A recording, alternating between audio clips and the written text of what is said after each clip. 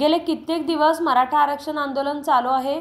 Manoj जरांगेंनीही OBC प्रवर्गातून आरक्षण मिळावे व मराठ्यांचा इतर मागण्यांसाठी पंचवीस ऑक्टोबरपासून आमरण उपोषणाला सुरुवात केली.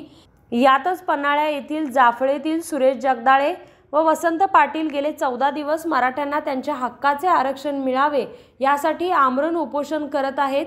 शुक्रवारी राज्यसभा खासदार धनंजय महाडिक व माजी आमदार सत्यजित बाबा यांनी आमरण उपोषणकर्त्यांची भेट घेतली. त्यावेळी उपोषणकर्त्यांच्या मागण्या मुख्यमंत्री उपमुख्यमंत्र्यांपर्यंत तातडीने पोचवितो. तसेच आरक्षण मिळण्याकरिता सर्वतोपरी प्रयत्न करतो असे खासदार धनंजय माडिक यांनी आश्वासन दिल्यानंतर आमरण उपोषणास बसलेले जाफळेतील सुरेश जगदाळे व वसंत पाटील यांचे गेले चौदा दिवस झालेले आमरण उपोषण अखेर स्थगित करण्यात आले. खासदार धनंजय माडिक आणि माजी आमदार सत्यजित पाटील यांनी आमरण उपोषणाला बसलेले सुरेश जगदाळे व वसंत पाटील यांना सरबत पाजून त्यांचे उपोषण सोडले. मला रात्र काल दुपारी फोन आला. मला दोन ठिकाणी सभा होत्या. पण आवर्जून चौदा दिवस उपोषणाला बसले म्हणलं मी आज सकाळी येतोय म्हणून मी त्यांना आवर्जून सांगितलं. आज इथं आल्यानंतर जी काय झालं समाजाचं काम इथून पुढच्या कालावधीत करायचं आहे. सकाळी उपोषण झालं पाहिजे.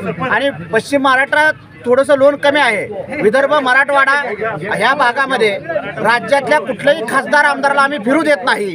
पंढरपूरमध्ये काल परवाच आदरणीय शरद पवारांना आम्ही येऊ दिलं नाही. दोन हजार अठरामध्ये तत्कालीन मुख्यमंत्री असणाऱ्या देवेंद्र फडणवीसांनाही आम्ही आरक्षण देतो येऊ दिलं नाही. माझी विनंती काय आहे? की राज्यामध्ये आपल्याला आपली मागणी कोण मांडणार आहेत आमदार आणि खासदार तर लोकप्रतिनिधी ह्या लोकप्रतिनिधीची जर नाड ओढली नाही तर हे लोकप्रतिनिधी तोंड उघडणार नाहीत त्यामुळे प्रत्येक पक्षाच्या लोकप्रतिनिधी शर्ट वडा आणि त्यांना रोडवरती फिरू देऊ नका त्यांनी फक्त विधानसभेत बसावं आमदारांनी आणि लो खासदारांनी लोकसभेत बसून आरक्षणाचा जे आर काढून आणावा ह्याच्यापेक्षा मला दुसरं काय म्हणायचं नाही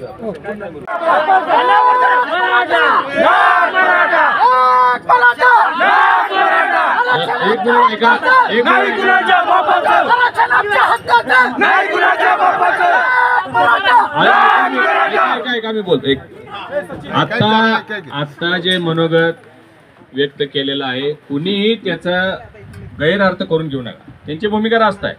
मी त्यांच्या मताशी सहमत आहे. हे कुणासाठी बोलतायत? हे तुमच्या आमच्यासाठी बोलतायत. आता त्यांनी हे कुणाला सांगायचं आहे? प्रशासनाला सांगायचं आहे? आम्हाला सांगितलं पाहिजे हे सरकार दरबारी कोण मांडणार आहे? तर आम्ही मांडणार आहे. त्यामुळे त्यांनी जी भूमिका मांडलेली आहे त्याला कुणीही विरोध करू नका. त्यांचं काही चुकीचं नाही आहे. ते जे बोलले त्याच्याशी मी सहमत आहे. त्यामुळे इथं अजिबात गोंधळ करू नका. आपण सगळे मराठा समाज आता इथं कशासाठी ठेवलोय आपण? हे दोन बंधू चौदा दिवस बसलेले आहेत. चौदा दिवस आपण बसू शकू का कोण? कोणासाठी बसलेत? आपल्यासाठी बसलेले आहेत. आणि आता जरांगेंचे जे सहकारी इथं आलेले आहेत ते त्यांना पाठिंबा देण्यासाठी आणि आपली भूमिका मांडण्यासाठी आलेले आहेत. कुणीही त्यांना विरोध करायचा नाही. त्यांच्या भूमिकेशी मी सहमत असल्यामुळं त्यांचं जे म्हणणं आहे ते शासन दरबारी आजच्या आज पोहोचवलं जाईल. ही ग्वाही मी आज या सर्व सर्व समाज बांधवांना इथं देतो. कुठेही गोंधळ दंगा धोपा करू नका. कोणाचाही अपमान झालेला नाही. मी खासदार झालो मी कसं झालो? काय जादू झाली काय? का वर्ण पडलो मी? मी मराठा समाजाचा आहे ना. मी ही मराठा समाजाचा मी कुठल्या दुसऱ्या समाजाचा नाही आहे त्यामुळं आपल्या समाजासाठी त्यांची ही भूमिका आहे. मी त्याच्याशी सहमत आहे. कुणीही गोंधळ करू नका. आज यांनी सन्मानानं आता आपलं विनंतीला मान देऊन उपोषण स्थगित केलेलं आहे.